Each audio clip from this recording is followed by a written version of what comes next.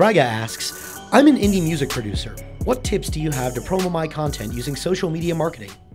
Draga, what's up? You're back, and I respect that. You're in episode one and two. You one day will be a trivia question. So the question is look, you're an indie guy, you're trying to promote. I'm actually gonna move the mic to Steve. He's not even expecting this. Go there, go there. Do you have the sound? or yeah, you're good with right. sound? You, the, Yeah, the camera's yeah, got its yeah, own sound? Go ahead. You say what you just said to me. So, Draga, I looked at your Twitter account and you posted a remix of a Rihanna track eight times in the last 24 hours since we aired the last episode of the show, actually.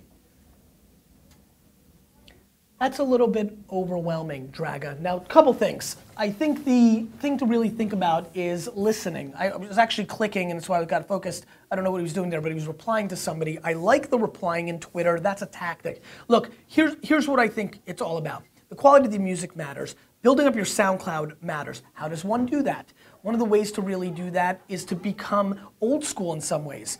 Believe it or not, I'm gonna go left field on you. How about some music message boards? But not spamming them, becoming a part of that community. How about searching every single person that tweeted about Rihanna? Steve, pull it up.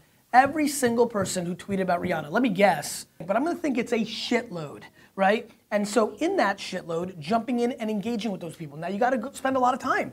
You decided to do a Rihanna remix, not me. So that means you've gotta go through it and it's gonna take you a couple hours because everybody's gonna be tweeting like Rihanna's hot, fuck Rihanna, all that stuff. And you're gonna have to find the people that are actually talking about Rihanna's music, which I don't know, probably small percentage of what's going on on Twitter. You've gotta jump into that and engage with it authentically. Engaging, and you've heard the 19 year old dude move, is not saying, check out my track. You've gotta just kind of, you know, jam with people.